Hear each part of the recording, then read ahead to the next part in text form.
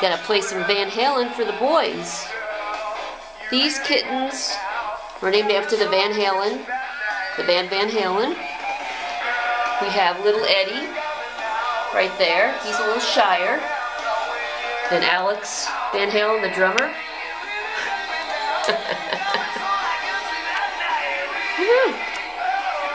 they um they're just kind of jamming to the music here. they um they're both born to different mothers, but the mothers was a mother and a daughter. They were both pregnant in a van at the same time. And they each had a litter of kittens, and of course, one is left from each litter, and of course it's the black ones. so that's a little,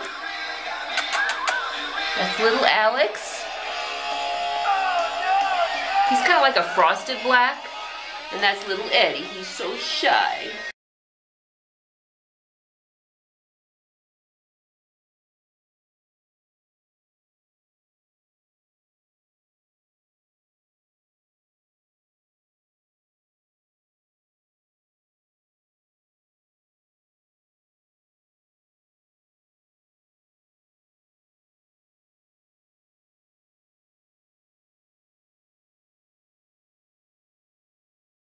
So, but anyway, this is Eddie. See, he's scared.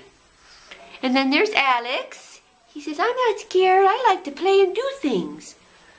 Yeah, I really think that, you know, Eddie probably, if he was in a home with one-on-one -on -one, um, contact and once he's loved and trusted you, I think he would do better. But, you know, here at the vet's office, there's so many different noises and people coming in and out and there's lots of cats running around dogs coming through. He just, it's just too much for him. So I really think if you do adopt um, Eddie over here, I would definitely, you would definitely have to have more quieter home because he is pretty skittish. But we haven't given up on him. Hello, and this is Alex. Hey, Alex. They're both really sweet kittens. I mean, Alex is very, um, quiet, nice boy. Yes, he is. He's a nice boy. Yes, he is.